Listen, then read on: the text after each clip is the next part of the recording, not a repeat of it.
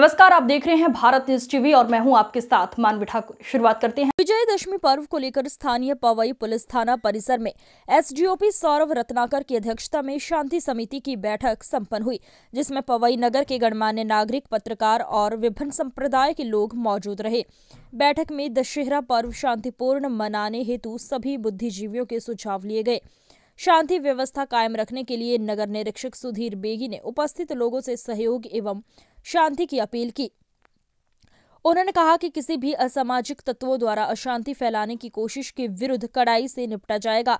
SDOP Saurabh Ratnakar ने appeal की कि विजयदशमी पर्व को शांतिपूर्ण एवं उत्साहपूर्वक मनाए जाने एवं आदर्श आचार संहिता का पालन निर्धारित नियमानुसार करें।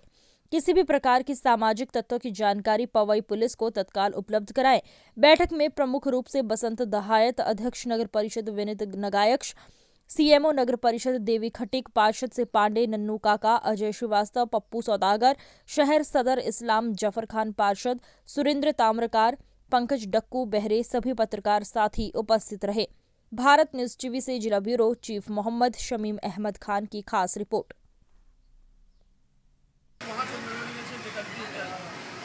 पर ट्रैवल जाता है और यहाँ पे यहाँ जाता है। जब यहाँ से निकल जाएँगे तो आपको बोलता ग्यारह बारह ही बारह बारह बज जाएगा।